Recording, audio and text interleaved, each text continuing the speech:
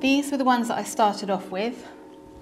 The traditional, I played these together to start. You're better off to choose ones that feel realistic to use than because someone suggested that that gong needs that mallet, you don't have to be wedded to that. Just go with what feels comfortable to you and you can always build up to bigger mallets later. These ones are from Dragonfly Percussion and um, they're just a different sort of shape and they're a little bit harder but they're really nice. And then there's the mushroom mallet, which is the one which is very hard on the edges, but you can get some quite interesting sounds. The flume, which I, the E wand, and that's the one that you get the well and dolphin sounds out.